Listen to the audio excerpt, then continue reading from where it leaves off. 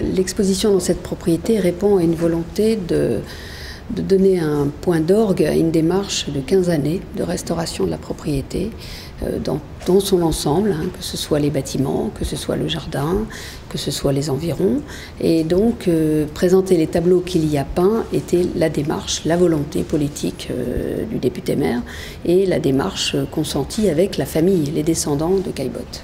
Pour nous, c'est une chance à la fois de pouvoir présenter ces tableaux ici, mais c'est aussi une chance de présenter un personnage extrêmement différent de ce qu'on connaît euh, des autres impressionnistes. C'est à la fois un homme très cultivé qui a su à la fois avoir un regard euh, pertinent, euh, une production riche parfois classique, mais aussi très, très avant-gardiste avant, d'ailleurs encore avant l'époque, et puis qui est resté quand même quelqu'un de très simple, dont on voit tous ces tableaux, il n'y a pas de choses à, prêter, il n'y a pas de volonté de montrer sa position sociale, ni voir d'écrire euh, des relations. Il avait 12 ans quand il est arrivé ici, donc euh, les premiers tableaux euh, sont dans ses premiers 20 années, et donc on voit ici dans cette exposition combien sa peinture a évolué entre les tableaux de 17, à l'âge de 17 et 18 ans et ceux qu'il a peints à 30 ans ou à 31 ans avant de quitter la propriété. Caillebotte ne peint pas de la même manière ce tableau-là.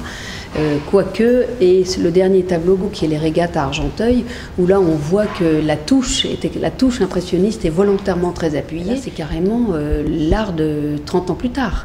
Euh, c'est Caillebotte. Tout naturellement, on s'est dit, bah, il faut mettre une tablette pour que le public puisse à la fois avoir des éléments d'information tout en se promenant dans le parc, sans avoir encore une fois des choses présentées de manière rigide, et puis puisse à la fois avoir quelque chose qui lui permette de voir apparaître le point de vue. Parce que ça, c'est quand même très intéressant.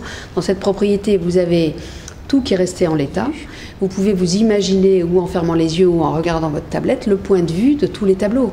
Et ça, c'est exceptionnel.